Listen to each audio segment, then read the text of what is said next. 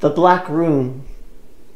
That dreaded undiscovered country from whose bourne no traveler returns. Death. But suppose those travelers could return. What would the world be like if communication with the dead were a scientifically proven, widely accepted fact? What if the souls of the deceased could re enter our world by inhabiting the bodies of the living in order to perpetuate their influence on earth? How would society adapt to a reality in which the billions of people who've died are never truly gone?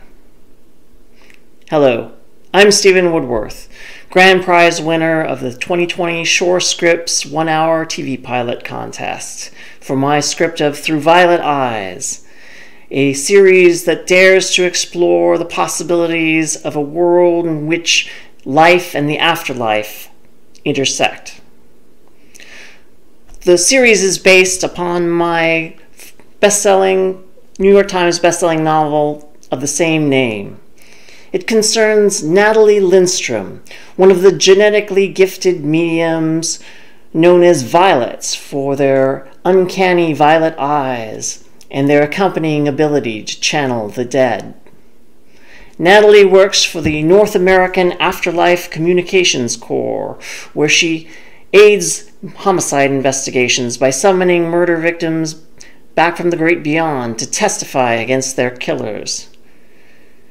But now a masked killer is stalking the Violets themselves, and Natalie must team with FBI profiler Dan Atwater to find the killer before she too becomes his prey and ends up in the black room.